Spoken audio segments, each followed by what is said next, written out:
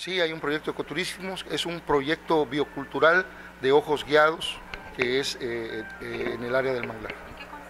Es un paseo en lancha con 12 paradas ambientales donde se van viendo los letreros y las especies. ¿Qué zona va a ser?